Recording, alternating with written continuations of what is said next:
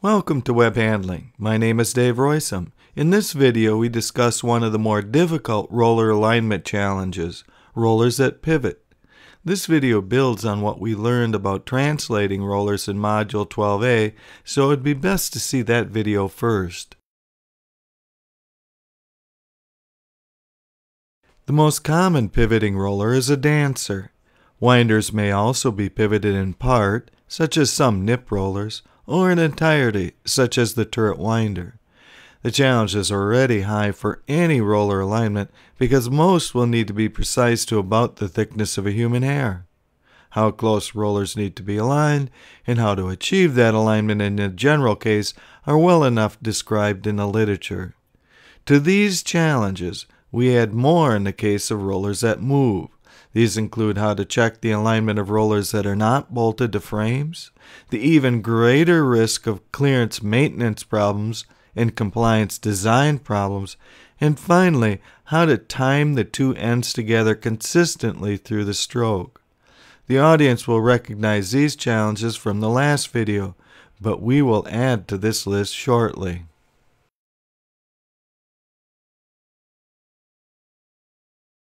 As before, we need to decide which part of the stroke is most critical.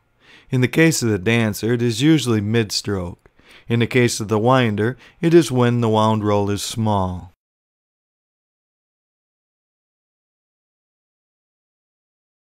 As before, we need to check alignment in this most critical location and do so off the stops. So how do you set up for checking alignment without using stops?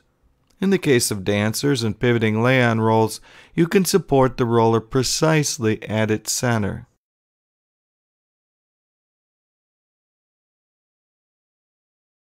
As before, we check alignment at both ends of the stroke as well as mid-stroke. Now is when things get a bit different for translating and pivoting rollers. With pivoting rollers, what is most important is the pivot itself.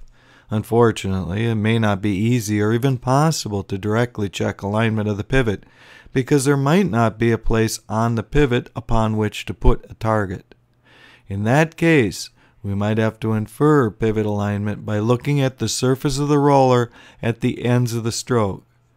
To this, we add another possible complication, and that is the possibility that the two arms are slightly different lengths.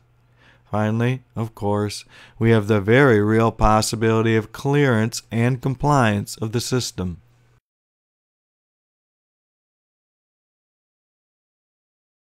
As before, we check clearance and compliance by fixing one end and flexing the other with a load appropriate for the application.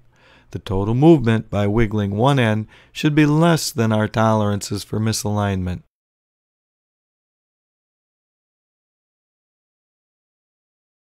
Many arm pivot connection designs do not hold. These include set screws that let loose and keyways that get loose. A more sturdy connection would be taper locks or welding which would never let loose. However, with a weld you would then need to be able to adjust the level and square at the other end of the arm where the roller attaches.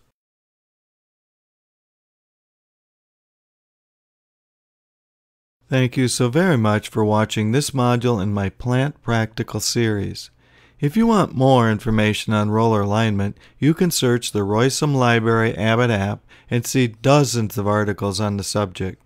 Also, you can learn more from modules 4, 72, and 73 of my Web 101 course.